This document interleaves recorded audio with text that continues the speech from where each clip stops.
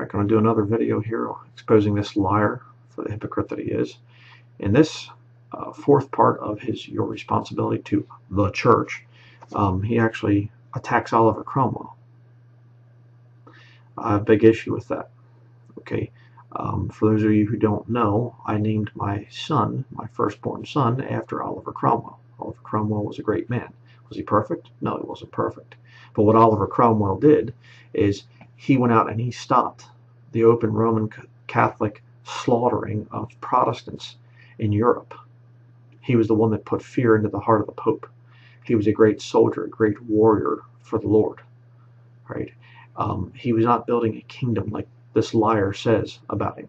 He was not trying to overtake the whole world and become his own version of a pope or something like this. No, he was just going out and saying the Catholic slaughtering of Protestant Christians needs to stop now.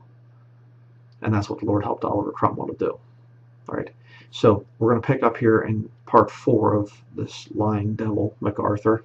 We're going to pick up in part four here, and uh, where he he starts. You know, he's just been talking about how Jesus said about that his kingdom is not of this world, and his servants aren't going to fight and everything. And uh, of course, you know, Jesus Christ's servants will eventually be coming back with him. Christians are going to be coming back, and Jesus Christ himself is going to bring war. So it's not that Jesus is never going to fight and he's not going to have a kingdom on this earth. No, he will have a kingdom, but it's not yet because the Jews rejected Jesus as their Messiah. So I need to say that just to kind of set the stage here. Listen to what he says about Cromwell. And I'm going to say this too. Roman Catholics hate Oliver Cromwell. Okay, King Charles II. I'll tell the story about Oliver Cromwell here in just a little bit, but if you don't know. King Charles II came back to England. He was exiled during the time of Cromwell and the members of Parliament. When he came back, he dug up the dead body of Oliver Cromwell and publicly beheaded him, and then they took Oliver's decapitated head and stuck it on a, on a spike up on top of one of the buildings. I forget which one it was in England. And, you know, the, the body was basically taken and shipped around and everything else. And finally, the body, or the head, was buried with the body. I think in like the 1960s or something. And Cromwell died in the mid 1600s. So we're talking some, uh, well, I should say mid to late 1600s. But we're talking some very, very sick stuff. And uh, I'll say more on that in just a little bit. But listen to what this liar says about Cromwell. Very important point. The church is the spiritual kingdom of Christ on earth today and it has nothing to do with earthly kingdoms. My kingdom, the church, is not of this world. So we don't fight. We don't go with Cromwell and the Protestants to Ireland and kill the Catholics. We don't do that. We don't fight. We don't go with Cromwell to, to Ireland to kill Catholics. Um, he wasn't going there to set up a kingdom. He was defending his realm, number one, because the Catholics were trying to get back in. That's what they did with King Charles I's wife, his Catholic wife. I'll tell that story here in just a minute. But Cromwell was not trying to build a kingdom. He was merely trying to defend the realm of England and also stop the Catholic killing, the Catholic slaughtering of Protestants. That's what he was trying to do. Let me show you here real quickly. This is a whole thing here about Oliver Cromwell. Um, essentially, tell you the story without going into a big thing on it. Uh, you can see some documentaries on the man, whatever else. Cromwell was born in the during the reign of King James I. Okay, where our King James Bible comes from, that time period. Oliver Cromwell was born. He was a Puritan, and basically he became a member of Parliament. He was like a lord, I, I believe. Uh, he was, so he was kind of somewhat, you know, I shouldn't say royalty, but he was, you know, a higher in, in civilization. You know, he wasn't just a peasant, in other words. And uh, he was a member of parliament. And essentially, King James I had passed a decree whereby no future king or queen could be a Roman Catholic. So what does his son, King Charles I, do? He goes and he marries the Roman Catholic Princess of France. And so now she basically control the marriages, most Catholic marriages go and she starts to bring Roman Catholic stuff back in. Uh, there's problems there between the members of parliament and the king, the royalists that supported the king. And the king, they went to war, they had the English Civil War. The king basically starts to look for help from the Irish Roman Catholic armies. And when it was found out, he was convicted of high treason and he was beheaded by the members of parliament. And uh, then Oliver Cromwell was set up as Lord Protector. He refused the title of king. He said, Christ, not man, is king. And he took up the title Lord Protector and they waged war upon Roman Catholic army strongholds and pushed them out of countries where they were killing Christians. And they just went to Ireland, they pushed the Catholics out, they went up, I think, to the Netherlands and Denmark, and they were like just shoving the Catholics out. The French Huguenots in, you know, that were over there in France, uh, they were Christians, and you know these Catholic armies were just torturing and, and murdering and raping the women and everything.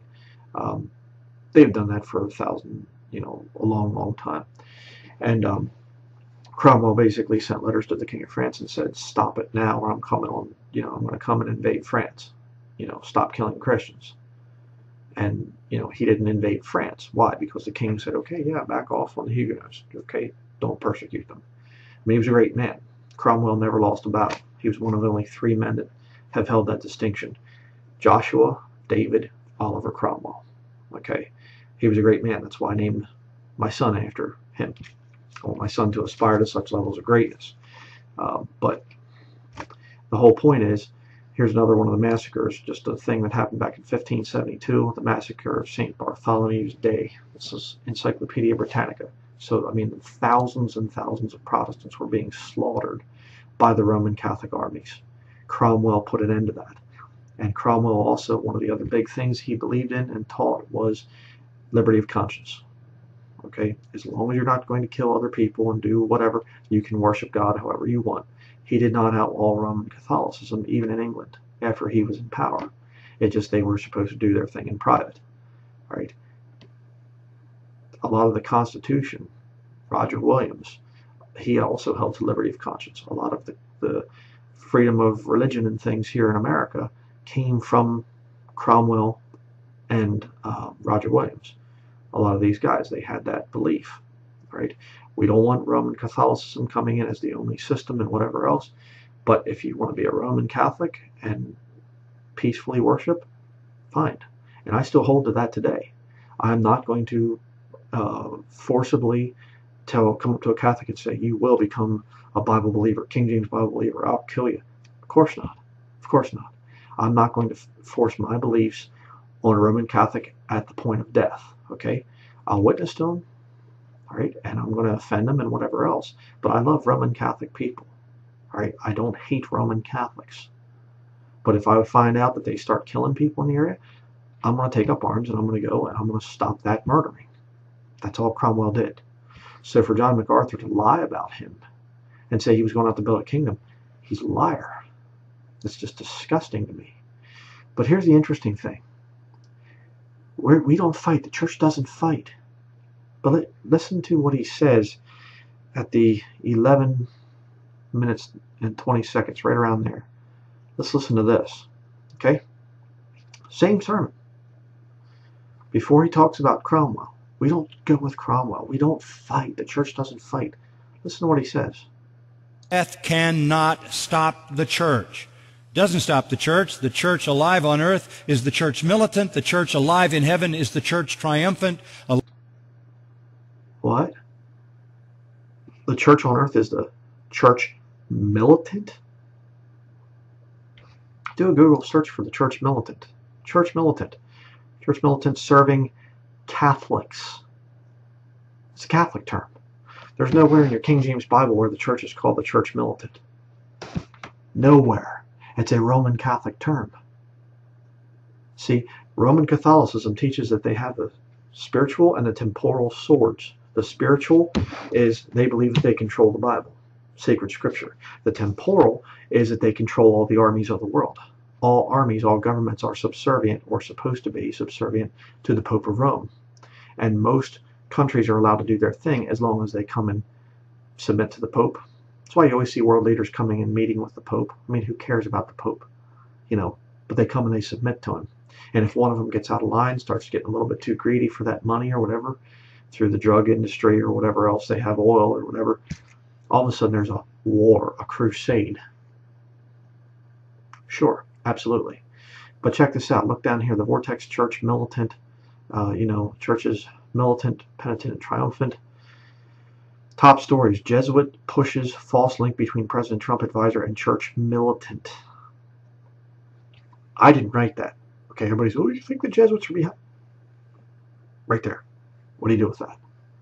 So I find it quite hypocritical that, oh, well, you know, the church doesn't fight, the church doesn't go to war, and yet he uses the term that we are the church militant, just like a faithful Catholic will do. Kind of weird, isn't it?